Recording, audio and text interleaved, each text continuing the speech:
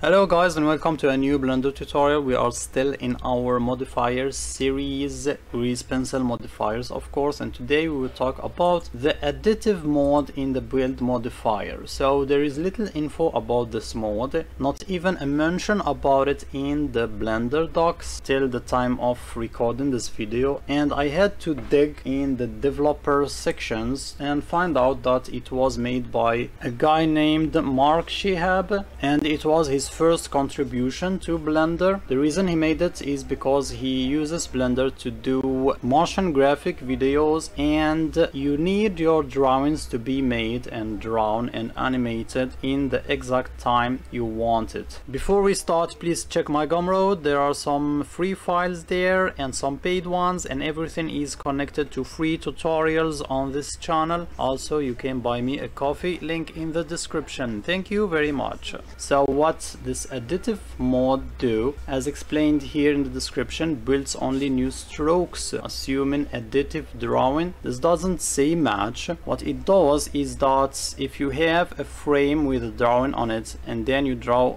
a new frame with the same drawing and additional strokes. The additive mode will draw only the new strokes compared to the previous frame. And this modifier works best with this snowflake button here. It's amazing how you use blender for a long time and you think you know everything about it. And then you find a button like this you never used and you never needed maybe. It's called additive drawing. So suddenly when you try the additive mode you figure out that it would be nice to have a mode where you can draw strokes and then in the next frame you add strokes instead of just deleting the other strokes and start from scratch. So let's enable it and let's show you what I mean. Let's draw a circle in frame 1. It disappears so let's disable the modifier to see what we are drawing. Go to frame 20 draw some lines here and then to frame 40 and draw some lines here. And now we go to frame 1 and we enable our modifier and we play this.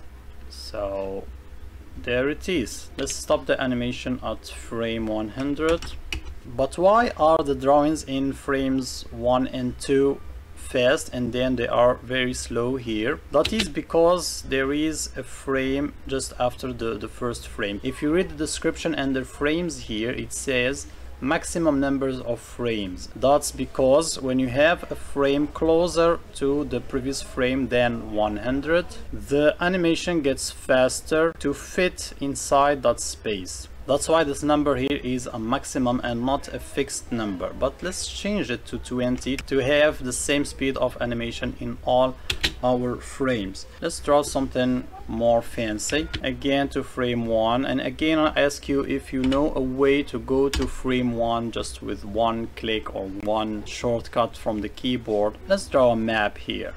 This is what, let's disable it again. This mod is about is about uh, nodes on maps let's go to frame 20 and draw its name or write its name.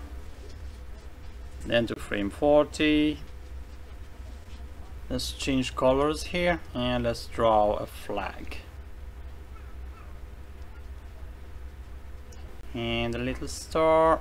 There we are. So let's enable the modifier again to frame 1 so let's play it.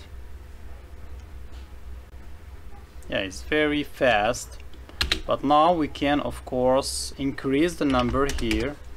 And we can put our frames wherever we want and sync our animation with whatever we are seeing in our videos.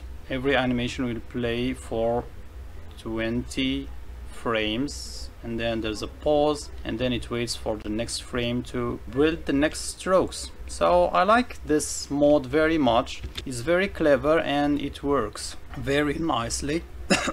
Thank you for watching and see you in another video guys. Peace